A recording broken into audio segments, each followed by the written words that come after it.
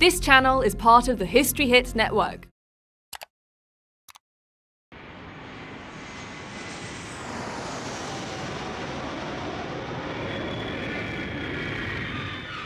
If you think archaeologists, with their strange haircuts and their bizarre dress sense and their obsession with all the rubbish from ancient civilizations are a funny lot, you ain't seen nothing yet.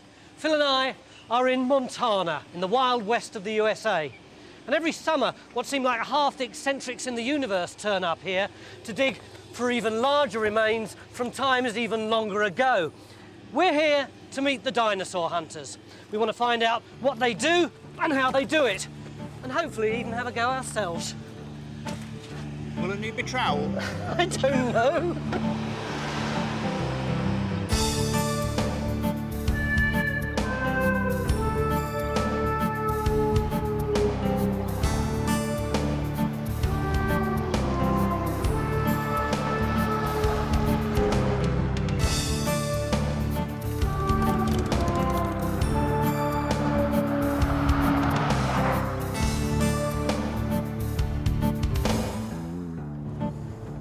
Haven't directed us wrong, because we haven't passed a turning for 75 miles. It's I've been an na- awful long way back.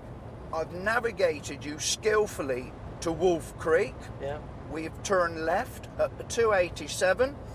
We will go through Augusta and we will now Montana is in the northwest corner of the US and it's empty. It's about the size of England, but has a population of just 900,000. But 65 million years ago and beyond, it was full of dinosaurs. In those days, known as the Cretaceous period, America looked a bit different. The continent was split down the middle by a huge ocean, and the Rockies were only just beginning to form. What's now Montana was a fertile plain sandwiched between mountains and sea. Landscapes changed. But in those days, it was home to all kinds of fabulous beasts hadrosaurs, triceratops, torosaurs, troodon, and of course the terrifying tyrannosaurids. They're all just names at the moment, but over the next three weeks and 1,500 miles, we hope to meet and even bag a few for ourselves. I've got this image in my mind that there'll be the Rockies, and on the side of them, there'll be this massive fossil of a Tyrannosaurus rex kind of just lying there. a fantasy oh idea, Tony. I reckon we should be lucky if we get articulated bones, to be quite honest. I mean, just think that thing has died, and then there's going to have been vast earth movements. No, I reckon they'll be a bit more dispersed than that. I mean, have you ever actually handled a fossil? Does Mick Aston count? Our first site is a research dig in the west of the state, sponsored by the Museum of the Rockies. To deter bone thieves, its exact location's a closely guarded secret. It's been codenamed the Bahamas, and although I can't see any beaches or yachts, it's a beautiful place. The site chief is Dave Varricchio. Have you got dinosaur to show us? We do, we do. A little bit of one anyway. This is our, uh, our quarry here. We're working on a Tyrannosaurid. It's a large predatory dinosaur from about 75 million years ago. Where is it? Where is it? It's mostly under uh, plaster jackets. It certainly is. It looks like it's broken every bone in its body. There's a bit of bone poking out here and there. Here's a metatarsal. That's one of the long bones in the foot. Oh, yes. Can certainly see that. See that, Phil? Yeah. Our first dinosaur bone. Dave, how much of the actual skeleton is here? Uh, this area has most of the skull parts. This big sort of mound in the middle there has lots of vertebrae and ribs, and then portion of the pelvis uh, we removed from the back. And you called it a tyrannosaurid? Yeah, it's a member of the Tyrannosaurid family. Which one is it? Uh, we're not exactly sure, but it's probably something like an Albertosaurus or a Daspletosaurus. Albertosaurus. They're sort of smaller cousins of a Tyrannosaurus rex. Oh, here's an Albertosaurus. So that's more or less what we've got. But is it actually articulated? No, it's all disarticulated. It's uh, just a big jumble of bones. Now you see, Tony here, he was quite confident that we were actually going to come down here and there was just going to be this massive dinosaur laid out in front of us. I thought we'd have a rock face just like this, and then you'd see this reclining dinosaur. I think that's in the movies. History Hit is like Netflix just for history fans, with exclusive history documentaries covering some of the most famous people and events in history, just for you. Whether you're looking to dive into life and crime in Victorian London or the forgotten history that deserves to be heard, History Hit has a documentary for you, just a click away. We're committed to bringing history fans award winning documentaries and podcasts that you can't find anywhere else. Sign up now for a free trial, and Absolute History fans get 50% off their first three months. Just be sure to use the code Absolute History at checkout. The digging process is a bit of a surprise too. I'd expected to see the paleontologists carefully excavating each bone, cleaning the rock off it as they went until they could lift it pristine and intact. But the bones are extremely delicate, so the idea is to leave as much rock on them as possible, record how they lie, then wrap them in plaster jackets for extra protection. No one really gets to see the bones in their naked glory until they're cleaned up in the labs. The Tyrannosaurid isn't the only dinosaur on this site. Next door to the predator, Dave's found its prey. We have a jumble of hadrosaur bones from probably many individuals, all sort of tossed together in the sediments. Hadrosaur. Hadrosaur. Look up in the book. Yeah, it's, it's like a duckbill dinosaur. This one actually might be closer to a Lambeosaurus. H. Oh, there is one 187. Oh, That? come on. come on. you get taxpayers' money to find something like that. I mean, It's vivid on the page, and unlike the Tyrannosaurid, its bones are vivid in the ground. Oh, wow. What exactly have we got there, Dave? The big bone on the left is the femur. It's one of the large bone from the thigh. And then that kind of long one cutting across is the ulna. Got a rib coming across here and a vertebrae. it might seem incredibly rude, but I've done quite a bit of digging. Ah, okay.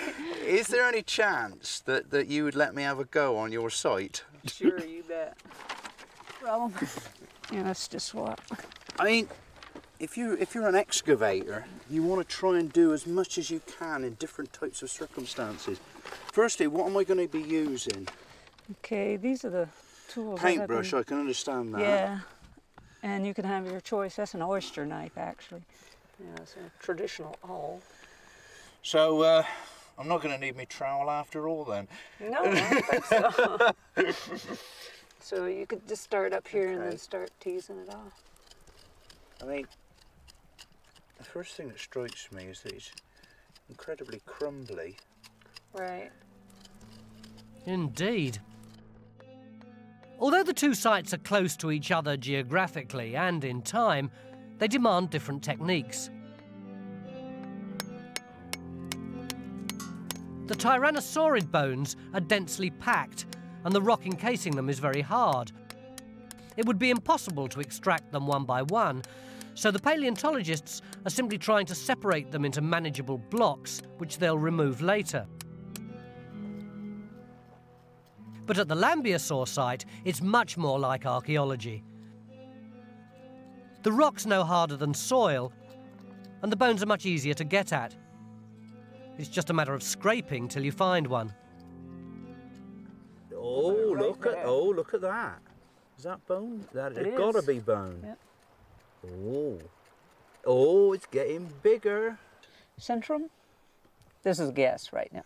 Okay, so what's the centrum? It's the center of the vertebrae. Phil's obviously delighted to have found his first ever dinosaur bone, but it's taken him a good hour. And in the meantime, I've been wandering about the site and found all these. Frankie, are they rocks or are they bones? They're bones. Hadrosaur bones.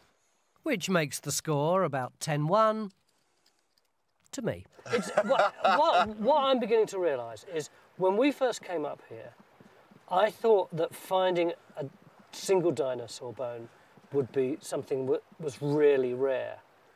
But we come up here, it's like a tray full of crisps.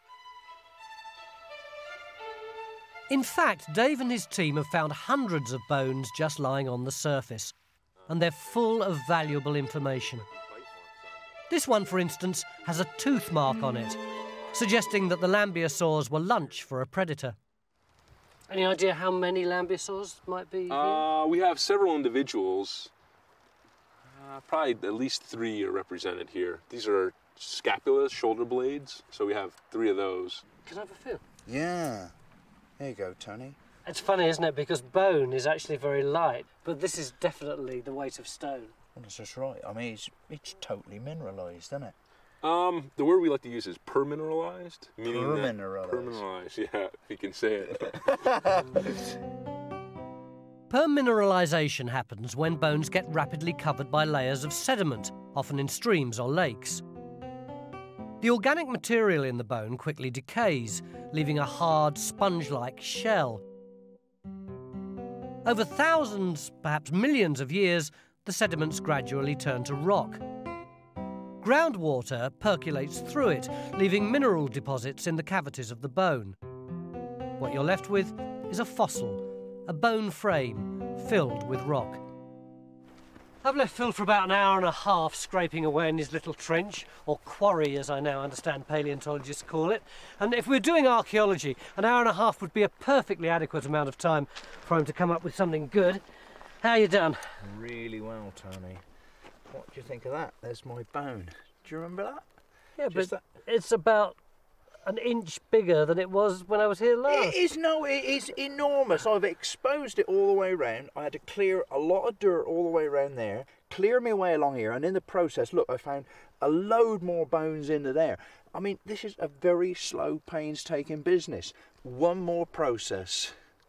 Why have you got mustard? There is no meat left on that bone. This container is full up with a hardener, Tony, because that bone is so delicate. So I'm about to pour some hardener on it. That's about got it covered. Is that it? Yeah. Way. Our first day of dinosaur hunting Hey, how about that then? has been a success. Phil's bagged a lambeosaur, 74 and a half million years older than anything he's excavated before. Well done, mate. But tomorrow, it's my turn. We're going to a brand new site, and I've been promised a crack at a good old fashioned predator. Join us after the break.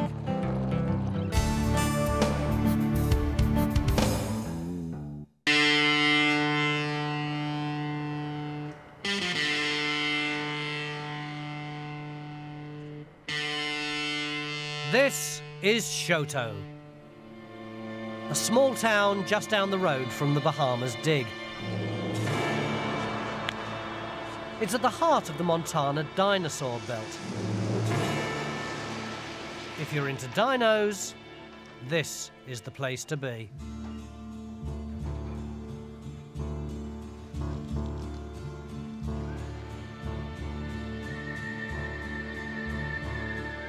Which is all very well for the armchair dinosaur hunter, but Phil and I are looking for something a bit more hands on. And in a one horse town a few miles up the road, we found it. At Timescale Adventures, members of the public can sign up for a day, a week, or a fortnight of hardcore dino hunting. It's a neat idea. Paleontologists, like archaeologists, are always complaining about lack of funds, but not Timescale boss Dave Trexler. These people have all paid him good money to come and help him dig up his dinosaurs. In return, they get a basic training in paleontology. It's a really opportunity because you know there's not many places you can go as a layperson to to actually dig bones. They won't let you on the sites. And dinosaurs to me were almost like a myth. And so coming out here and actually seeing these bones and the process and how careful you have to be, it's just, it's like a whole new world to me. So it's really exciting. It's pretty fun and I like doing this and I like doing the prep work, like gluing the bones together. But um, I don't know if I like to do it as a profession, but it's pretty fun just to do it and come out here. Phil and I can only spare a day. But we've got this bit of the site to ourselves. And the hunting looks great. There's a heck of a lot of bone here, Dave. There's bone all the way down here, all the way down there. There's bone over there, bone right over there, bone there, bone there, bone there. What have you got here? We have the remains of at least eight individuals in this quarry, uh, two different types of dinosaurs. Uh, five of the individuals are duck-billed dinosaurs, and three of them are tyrannosaurid. And what do you think we've got here? This is actually uh, part of the pelvis of one of the tyrannosaurids. This is called the pubis bone. It's the part of the pelvis that sticks forward, and this is part of the ilium which sticks over the top. So is this where we're going to start this morning? Actually, this area is very delicate. That's the reason we're plastering around it. We're not to the point where we can work on this one. You're saying you don't trust me? Actually, I don't trust me. I refuse to work on there myself right now. Uh, what we will have you work on, though, is part of the animal back over here that we need to. Uh, Dave wants us to work on an area he's only just started exploring. I can't see any bones, but Dave assures me under here somewhere is another Tyrannosaurid, which is much better than Phil's sissy plant eater. Phil, will you be very careful on the edge of my trench, please? Ten years I've wanted to say that. You'll be using a brush. Dave gives me my tools, shows me where to scrape, and I'm away. I'm determined to find a bone before Phil. But it's several hours before I get a scent of my prey. I found a knobbly thing here, and I don't know if it's bone or rock. Come and have a look. A knobbly thing. It's not what I call an academic. Exciting if it is bone. It's my bone. Is, is that, would that be your first ever bone? In a manner of speaking. the bone and rock are so similar, though, I need expert confirmation. Do you think this is bone? This is all dinosaur bone right here. Yes. All the way around. It's bone, Phil. Oh, what? What done, Tony? But I'm discovering what a slow process this is. After nearly a day working at my new bone, it's still firmly rooted in the rock. I'm not going to be able to get this out, am I? Not today. Probably not. We're looking at a bone that is liable to take two days of excavation before it's ready to remove. Okay, just speculation. What bone could this possibly be from what kind of dinosaur? Of course, it's, it's bad to guess, but it looks like it was the uh, neck vertebrae of a tyrannosaur. Even though I've had to leave my bounty in the ground, I can at least say I've helped to excavate a 75 million year old dinosaur. Don't it make you feel good? No. And go back happy, Phil. I think we can both go back happy, Tony. But schemes like this are controversial. Most of the work, including some fairly technical stuff in the labs, is done by members of the public with little or no paleontological experience. And although Timescale claims it's a non profit making organisation dedicated to research, its basic concept is uncomfortably similar to the black sheep of the paleo world. Commercial companies who dig up bones, or indeed charge members of the public to dig up bones, for sale on the open market. There are, are commercial uh, outfits that do excavate and collect data, but a lot of them, the bones are just removed. We lose the data, we lose the research uh, involved with these, these sites. What happens to the bones after your clients have dug them out? Actually, we keep them. Uh, they're permanently in our care, and uh, they remain part of the public trust. Uh, we may not keep them physically on premises. Uh, a lot of times we will loan specimens to other institutions for research or display purposes. But uh, yeah, they're always in the public trust. But not everyone is as ethical as Dave. There are masses of bones for sale around here. The biggest local fossil retailer is the Rock Shop in Bynum, which just happens to be run by Dave Trexler's mother. Where do you get all your bones from? Buy them.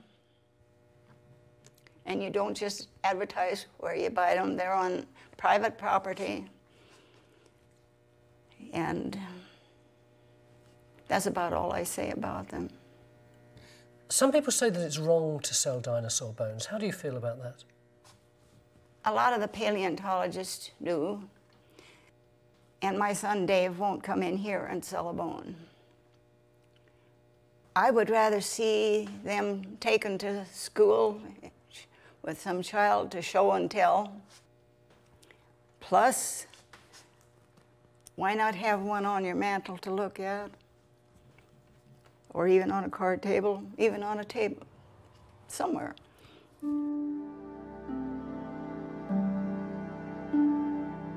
Phil and I wondered if this was simply a local phenomenon or part of something much larger.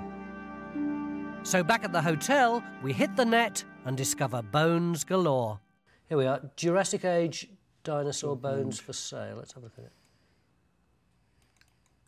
Allosaurus metacarpal bone. Very nice, rare bone. Only minimal reconstruction. 450 bucks. Camera. Oh, this is a real beauty. 900 bucks. Awesome, texture and preservation of the small processes. Camarasaurus, have we got that? No one's been able to gauge accurately what the global dino bone market's worth, but a recent estimate by the Los Angeles Times puts it at more than $80 million a year. And growing. It's very sick, really, I think. You know, I mean, what do people want with one dinosaur bone at that price? The one thing that you really want, sorry to be boring, is context. You want to know where this stuff comes from. And it's valueless other than that. And there they are, exchanging good money for stuff which is scientifically valueless, but was probably very, very valuable when it was in the ground. But on the other hand, Phil, if you look through Montana and Utah and Argentina and China, there's a hell of a lot of mountain ranges that seem to be chock-a-block full of bones. Where we were, we were walking on them like they were sherds of pottery from a massive Roman site in the Middle East. I mean, there were that many Yeah, of them. yeah. Can we begrudge people who've got a little crush on dinosaurs just spending a few bob on a little bone like But a lot of that stuff is not unstratified. It's coming straight out of the ground. It, it's being dug out virtually as we speak. And I mean, it's, it's tantamount to just having a dig and flogging off the fines. You don't do it. Luckily, our schedule doesn't leave Phil too much time to wallow in his grief. We've got an eight hour drive to the eastern edge of the state to meet one of the most successful dinosaur hunters in the world, Jack Horner. He's currently digging in the alarmingly named Hell Creek. Apparently, it's stuffed full of T Rexes, and we're going to see his latest discovery. Only problem is, it's halfway up a cliff. Join us after the break.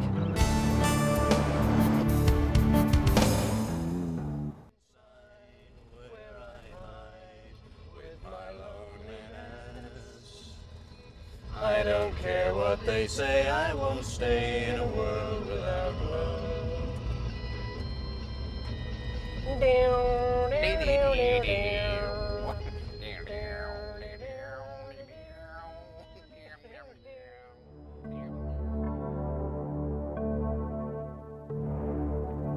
Hell Creek is home to one of the largest dinosaur excavations in the world.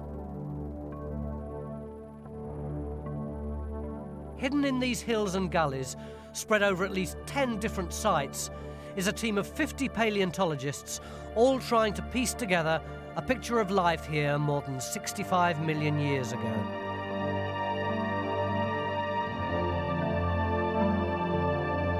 But you can't dig up a dinosaur until you've found it. So project boss Jack Horner is going to give us a lesson in the most basic skill of dinosaur hunting, prospecting for bones. This, though, is rattlesnake territory, and Phil's snake phobic. Even though he's wearing top of the range protection, he's very nervous. You don't, you don't have anything to worry about. If even if you see a snake, even if it bites you, you're fine. You're all right. It can't get you in the knees. They can't get that high. Unless, of course, you're down in a valley and he's sitting on the hill. Not surprisingly, Phil decides the safest place is at the back. And we're soon trekking in the midday heat into the shadeless Badlands. Is the terrain always this difficult? Uh, this is pretty simple terrain here. Simple. And most of our terrain's a lot more difficult than this. There's no great secret to prospecting. All you've got to do is walk for miles and look at the ground. Though whether Phil's looking for bones or snakes, only he knows. See, there's a piece of bone right there. Junk bone. Well, if you if you look at it, you'll see that it's. You can see the uh, marrow. Yeah. So it's just a small fragment of a large bone. But that's what we're looking for. A piece of junk bone that we can follow up the hill and. So that, that bone is, is weathered down, is it? It's weathered down, probably on the slope here somewhere. It's come down and. This is exactly like field walking, Tony, isn't it? I mean, it's just a matter of getting your eye in. It really is. Ah!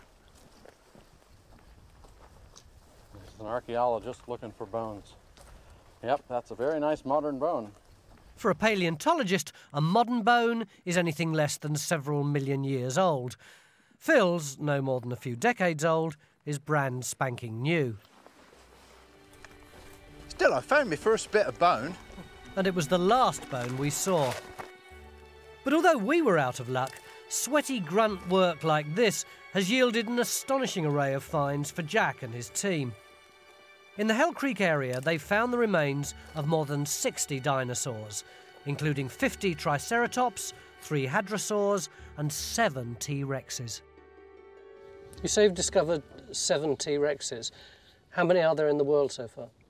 Oh, about 22. so we've got a, a good third of them. Most of our information about T-Rex has come from here. Most of our information about Triceratops. Most of our information about the KT boundary, uh, the last, the last of the dinosaurs and what happened to them, comes from this area. So this, for dinosaurs, this is a, an extremely important area. The problem is, most of the sites are in very awkward terrain, and none more so than this, the latest discovery. Several miles from base camp, these distant figures are excavating an adult Tyrannosaurus rex, just what we hope to see. And it's where we're going next. It promises to be quite a trip.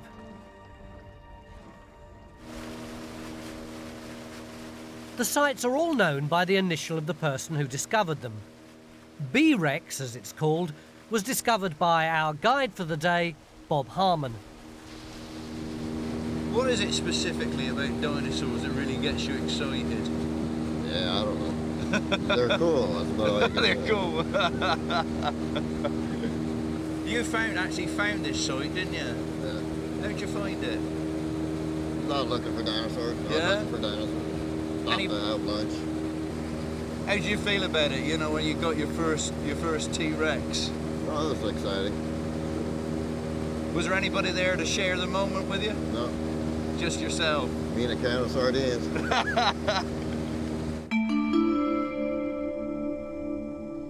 The boat was the easy bit. Now we've got an hour long hike. And with the temperature climbing into the high 90s, it's very hard going.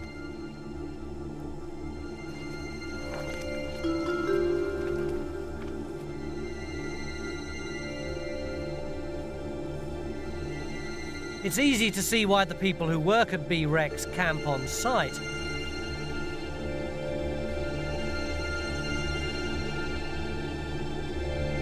Looks like we're here.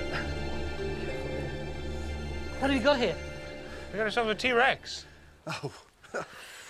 this right here, what you're seeing is a is a centrum or a piece of a vert. You can see the processes coming off this way. That thing had a spine some size then. It did, did Yeah, it did. And we're not sure exactly where this came from. So there sure could be many more verts that are bigger than this or smaller than this.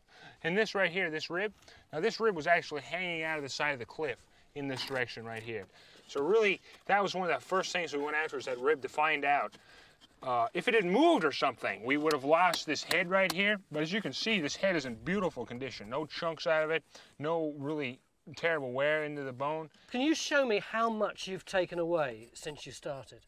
I mean, in overburden rock? or rock on top? Yeah. Well, if this this wall here actually came out away from it and it went up, um, you know, 30 feet in air, which, you know, in fact, it was overhanging a bit. All this rock. All this rock. You, if you just, if you stand way back here, you can see the top layer of mudstone up there, and that came straight out and straight down.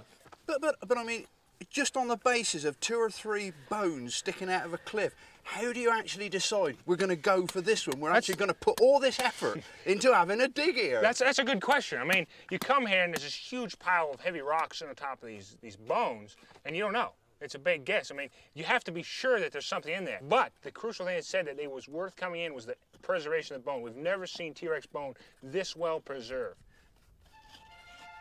As well as the rib and vertebra, several other bits of T-Rex are beginning to emerge from the rock.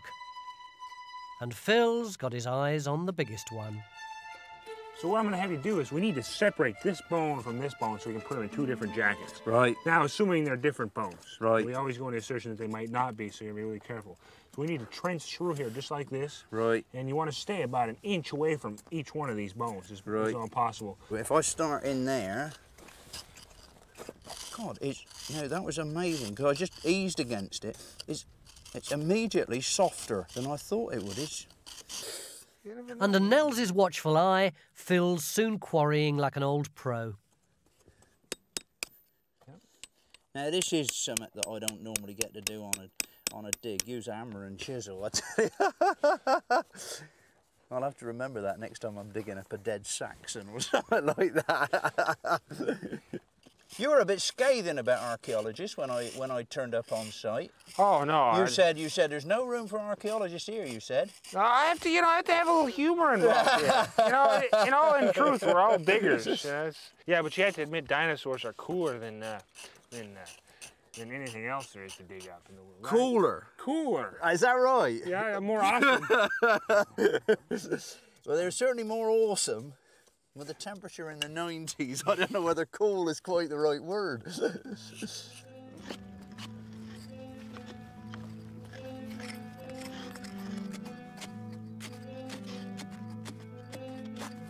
It's going to take at least another year to recover the whole animal. Though Phil's really keen to get his bone out of the ground before the end of the day. But the more he scrapes, the bigger it gets. Nows? Yeah. You got a minute? I do. I'm beginning to beginning to get run, beginning to run away with me. Oh. Look, we had this big lump of bone on there to start with, which is where I was trying to trench all the way round. But look, it's, it's folding down there. Look, and it's coming right the way across there. Look, look, and if that cracked surface is bone and that surface there is bone, it's getting enormous. In the end, it turns out to be too big even for Phil to handle, and he has to admit defeat. more work for That's a major piece of work.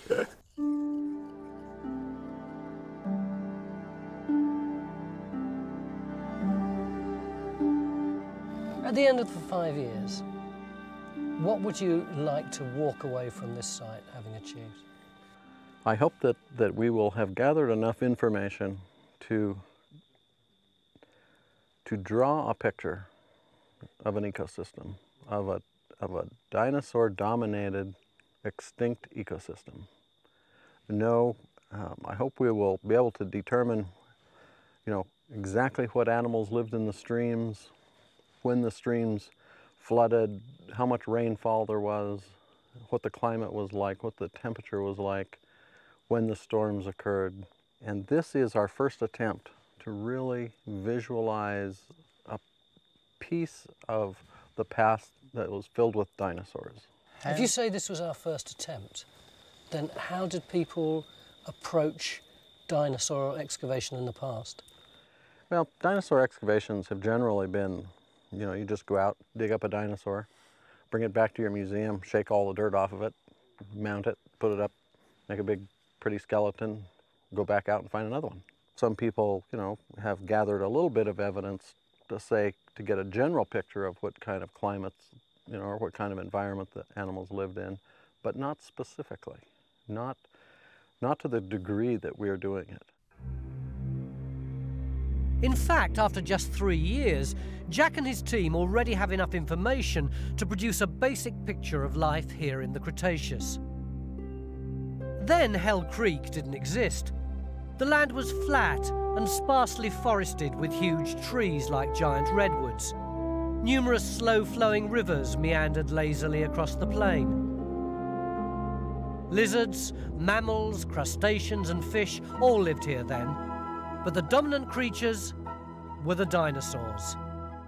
Herds of hadrosaur, the wildebeest of the Cretaceous, foraged in the savannah alongside triceratops and various other plant eaters, all eyed hungrily by the ever-present T-Rex. But this was the very end of the Cretaceous and the dinosaurs. Within a few million years, they'd all be dead. Jim, we've heard so much talk about the KT boundary. What is it? Well, the KT boundary marks the disappearance of dinosaurs from the fossil record. And so the KT boundary separates rocks below that contain dinosaur fossils from rocks above which do not contain dinosaur fossils. And if we look over here on this ridge, we see actually the KT boundary exposed. If you look at the layering in the rocks, what you see are a whole series of black layers, and those layers are coal layers. The lowest coal layer that you see there is the KT boundary. The KT boundary records a huge change in climate. There's much debate about what caused the change, but the most popular theories centre on the impact of a giant asteroid. And do the dinosaur skeletons go actually right up to the boundary? Can we actually say that it looks as though whatever happened, it was that thing that killed the dinosaurs off? Actually, essentially everywhere you look at it, you cannot say that. In fact, what you see is a very, very slow disappearance of dinosaur fossils as you go up towards the boundary. So it's a very gradual disappearance of the dinosaurs. So this thing that everyone was taught at school, that the dinosaurs were all living and happy, and suddenly something went zoomp and wiped them all out, that's not true. That's probably not exactly the way it happened. The effects of that impact probably took hundreds, thousands, perhaps tens of thousands of years to play themselves out. The notion that you have from everything you've learned about an asteroid flying over the sky and dinosaurs looking up at it and, and it hits the earth and they fall over all dead all at the same time is not the way it in all likelihood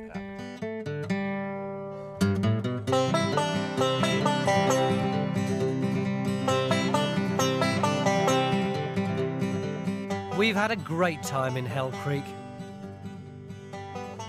Especially Phil, who's still bragging about his T-Rex bone.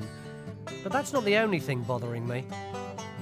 You know what really frustrates me? We've been here for the best part of a week, and I still haven't seen a clean dino bone. Everyone I've seen has been surrounded by clag and rock. Yeah, but I mean, I suppose it, it, it just reflects the time that you've actually got to that you've actually got to spend taking out each bone. Yeah. I mean, I'm sure that the only way that you're going to actually physically see a bone in, intact, in whole, is actually in a laboratory. Philip, that is precisely where we're going. And we've been promised some big surprises.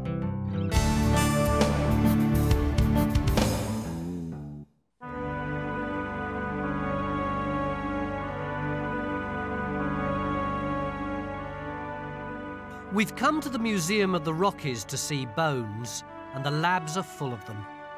The staff have even laid out an Allosaurus skeleton for us.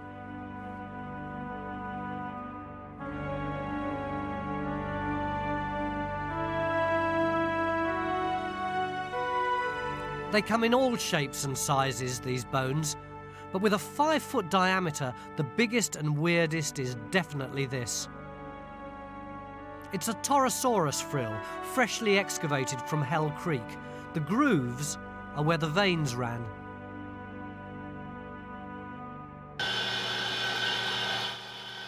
The bones are full of information.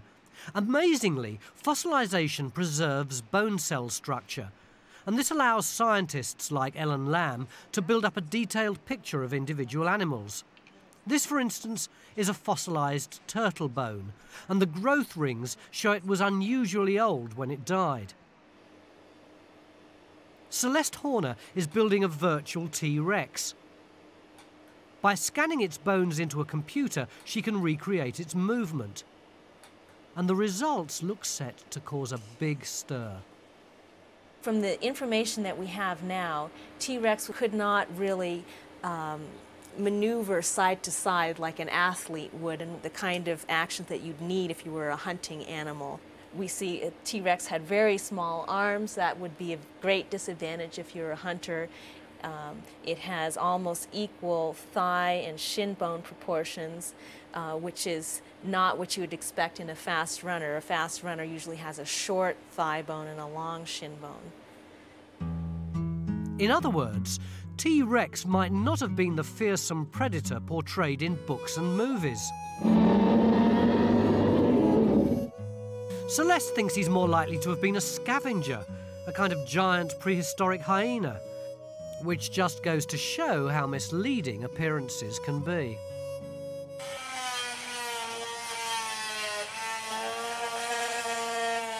Getting the bones into shape for all this analysis is the job of preparators like Jamie Jett.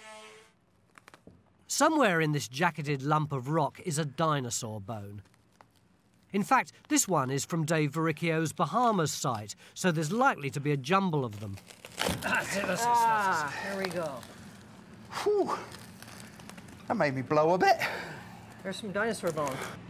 So the job now is to get all of this matrix off of this, these bits of bone that are in here. How long will it take you to get all this rock off and clean this out? If I'm lucky, maybe a couple of months. if I have trouble getting the rock loose from the bone, it can take anywhere up to six months.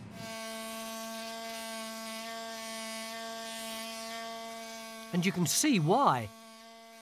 Jamie can't just hack at the rock for fear of damaging the bone.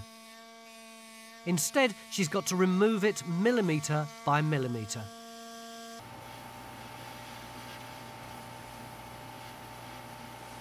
It requires almost surgical skill, but the effort's worth it. All this stuff came from your side? This is uh, last year's collection. It's beautiful, isn't it? It is. When you see it in the rock, it doesn't look as though you'll ever get it to this state. What's this bit here? That's one of the belly ribs. Look at that. Good Lord. I know you're nowhere near finished, but from the evidence that you've pulled together so far, what can you tell about this animal? Well, we can definitely tell it's a tyrannosaurid. From the material we worked on this summer, we can actually tell it's a Daspletosaur, so a particular type of tyrannosaur. We can tell it's larger than our other specimens, so this is probably a, a full adult animal. Yeah, and we can see that on, uh, here's a toe bone. So this is just one of the bones from the foot. Good Lord. And uh, we can compare that with our other specimen. Why don't you hang on to that? Yeah. And then Where's the other specimen? Ah! We're back in the movies. one day, one day, yours will look like that. Hopefully, hopefully. Yeah. So which one is? This one matches this bone here, yeah. Get that out. Yeah, so you can see. It's bigger, isn't it? your one? bigger, Yeah, yeah. yeah. And this actually is a fairly mature individual. So ours is definitely a mature individual. And we also have some unique features too, some pathologies. Ah. Ah. Injuries to the bones. Yeah. And uh, this bone that you picked up earlier was actually one of them. This is the belly rib. Um, and so you can see it sort of has a normal portion down here, Yeah. and then we get to this area here, and things really go haywire. That's not just because it's been smashed up. No. So does that mean that during its lifetime it had an injury and that healed? Right. Well, I'd say it. I'm not sure it actually healed. It, the bone reacted to that injury. So it didn't die of that injury? Uh, that's a good question. It could have. I mean, this I'll show you, uh, this is what it should look like, this end of the bone. Should be very flat. And instead we have this large cavity which suggests there's some kind of maybe an infection or tumor growing within the bone. This is beginning to feel like archaeology again. The only difference is, on Time Team, we're used to getting results in three days, not six months. Nevertheless, Dave's Daspletosaur, one of only four in the world and probably the most complete, is slowly coming to life.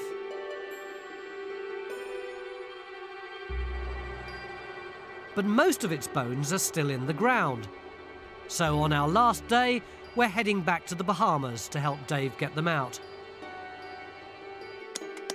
They've finally been isolated into clumps, recorded and jacketed. Now it's just a matter of getting them off the site and back to the preparators. We have a special tool for this called the Dino Killer. A dino killer. Dino Killer.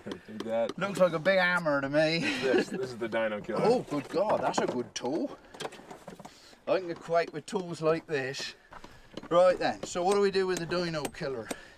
Basically, we have to drive, basically drive it under this. But since the bed's dipping this way, we don't want to drive it horizontally, but down at an So angle. in there? Yeah. Yeah.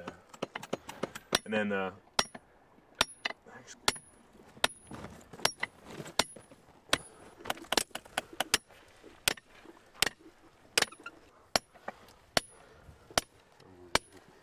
Oh, ah. Well, it, right. All right, It's hang good. on. Yeah, yeah, yeah, it's gone. Wait, wait, wait. Let's, I think that's is that- Okay, okay. All right, you ready? Yeah. Okay, Can you back just a little bit? Let's pull it over. Let go. Come on, come on, come on. Bring it over, bring it over. Hey, that's it, that's it. Woo! Now the dino's dead, the fun really begins. Each of the jackets weighs around half a ton, and we've got to carry them up the gully to where the trucks are parked. Sometimes it's really light, and then the weight shifts. and it's incredibly heavy. So this is why Dave wanted us back.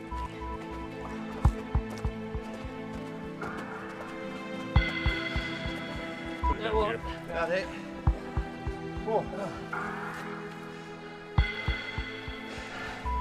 How do we get it in? Hang on, right. Pass it in. Right, inch.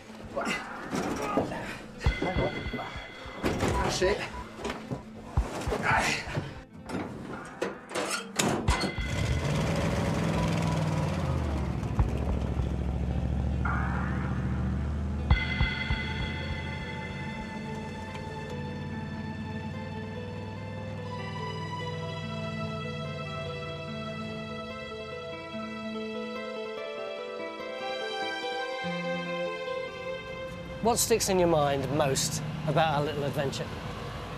I think it's the passion of the paleontologists for their subject. Ah. I mean, they really, really care. And there they are, they're, they're struggling to actually reconstruct the lives of dinosaurs with such little amount of evidence. You know, and, and in such a hostile environment. They care passionately about dinosaurs, just the way I do about archaeology. Would you do it again? Well, you bet I would.